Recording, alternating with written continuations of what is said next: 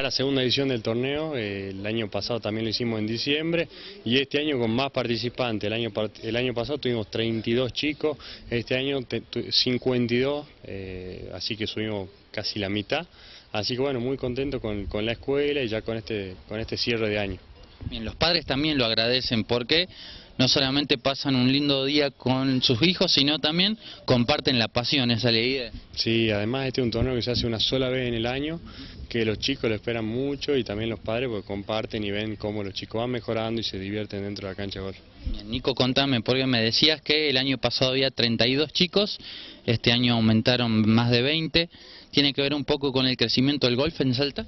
Sí, el golf creció mucho, eh, estos últimos 5 o 6 años, eh, tanto con los grandes y sobre todo con los chicos. En el Saltapolo se armó un semillero, la verdad, grande. Este año se mantuvo 40, 45 chicos todo el año en la escuela. Así que bueno, muy bien. chicos desde 5 años hasta 18 tiene la escuela, así que un buen semillero para, para los próximos años. Bien, para los chicos que estén viendo el programa y quieran venir y acercarse, ¿cómo lo pueden hacer? ¿A qué dirección?